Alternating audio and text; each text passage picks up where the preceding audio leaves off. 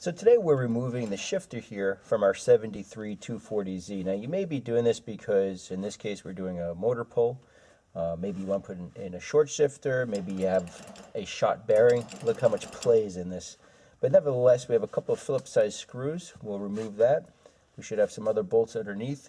Remove that and uh, that's it. We'll be pretty much all done.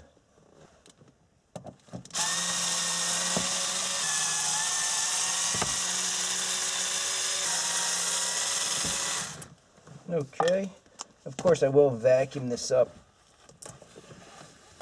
after I take this video, but nevertheless, put this over here. As you can see, the boot is ripped.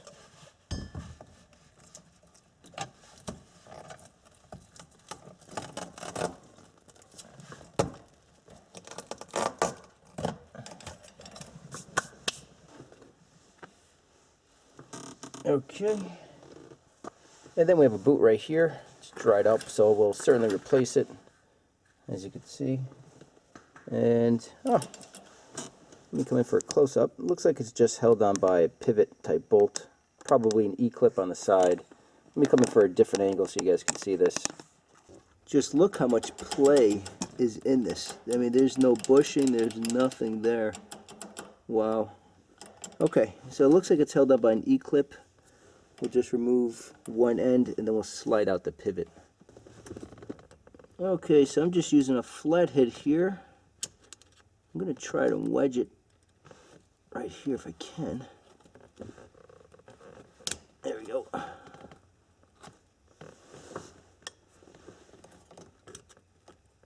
And this comes out. Okay. And there you go, that's it. We'll be replacing this transmission too. Chances are we'll swap it out for a 5-speed.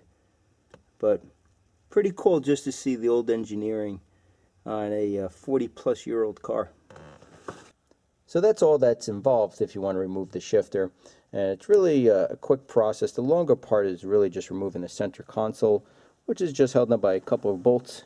And this is what it looks like once you remove it. But right here is the choke and you have a couple screws holding the choke to the center console and that's it. So I'm going to loosen up the transmission mounts, uh, the motor mounts, and then we're going to pull this from the vehicle. So the next time we see this, this vehicle will be pulling the motor. So until then, thank you for watching.